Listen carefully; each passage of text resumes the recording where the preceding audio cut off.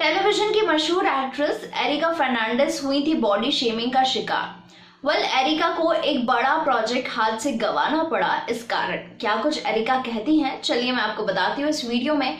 Hello and hi everyone this is Keshav and welcome to our channel well television का जाना माना चेहरा areca Fernandes का है और uh, कई लोगों का दिल एरिका ने अपने काम से जीता है। वेल well, uh, हाल फ़िलहाल काफ़ी बढ़िया फ़ैन फॉलोइंग है और uh, उन्हें टेलीविज़न स्क्रीन पर देखना फैंस को बेहद अच्छा लगता है। वहीं मैं आपको बता दूँ कि एरिका ने एक एक्सपीरियंस अपना शेयर किया है। साथ ही उन्होंने बताया है कि कैसे वो बॉडी शेमिंग का शिकार हुई थी और क्या क्या चीज़ें उन्हें लोगों से सुनने को मिलती थी। साथ ही, इतना ही नहीं, बल्कि उन्हें एक बड़ा प्रोजेक्ट इस कारण गंवाना पड़ा।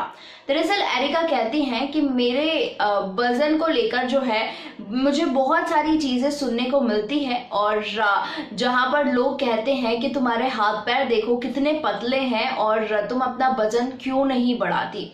वेल इसी कारण जो है, मुझे एक बड़ा प्रोजेक्ट जो है, अपने हाथ से गंवाना पड़ा। वेल लोग मुझे कहते थे तुम ज़्यादा खाया करो बट जो है uh, हमेशा मुझे बॉडी शेमिंग को लेकर जो है बहुत सारी चीज़ें झेलनी पड़ती थी. वहीं एरिका ये कहती हैं कि uh, एक बार तो मुझे एक काफ़ी बड़ा प्रोजेक्ट मेरे हाथ में लगा था और कई दिनों तक मैंने उसकी शूटिंग भी की। लेकिन मेरे दुबलेपन की वजह से मुझे रिप्लेस कर दिया गया। यहाँ पर एरिका ने एक बड़ी बात शेयर की है और कहीं ना कहीं अपने फैंस को बताया है कि लोग तो कुछ भी कहते हैं और ये वही लोग होते हैं जो खुद अपने यू नो फिगर और अपने साइज़ से सेटिस्फाइड नहीं होते हैं। वो खुद अपने आप को आईने में नहीं देखते हैं और बल्कि आप लोगों को कुछ भी चीज़ें जो है वो बोलते रहते हैं। बल क्या है? आपके रिएक्शन कमेंट सेक्शन में ज़रूर शेयर कीजिए।